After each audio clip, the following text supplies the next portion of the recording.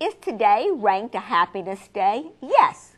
There's a happiness index developed by Facebook based on the number of times people used words such as happy, joy, awesome, or sad, tragic, or doubt. You're 10% happier on Fridays, no surprise. You're the least happy on Mondays. 4th of July, Thanksgiving, and Halloween, you're happy. So what, you ask? But economists are using emotional swings to explain the stock market. Social scientists say such data are useful in understanding divorce rates, and psychologists say this Facebook survey is a look at friendships, love, and hate connections. But one thing we know for sure, says the New York Times don't name your restaurant chain. Thank God it's Monday.